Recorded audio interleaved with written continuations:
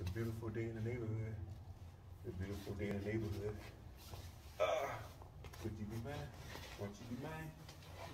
Please, please, won't you be my neighbor? Hi, neighbor. well, I'm at work.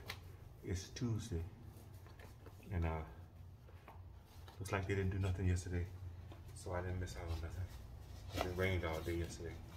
Well, not all day, but it better day. Anyway, this is my routine. I keep my boots here, and I change when I get to work. And uh, anyway, I'm gonna have me a good day today.